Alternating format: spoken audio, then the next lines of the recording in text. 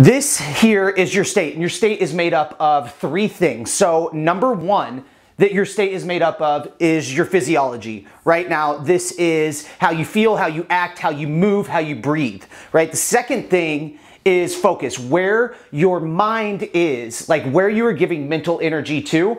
And then the third thing is the language. Like this is how this is how you talk to yourself. Now, in order to change your state, you have to change one of these three things. So, for example, whenever it's time for me to go on stage at an event, right? Like all your brain always has limiting beliefs coming in, right? You're not going to do this. What if you stutter over your words? You don't remember your speech. Things like that always come in, right? And to really be able to give the energy that I need to, because when I step on stage or when I hop on a live, I need to be so energetic and I need to be able to transfer that energy to the people who are listening so that they feel it. I bring them into the conversation.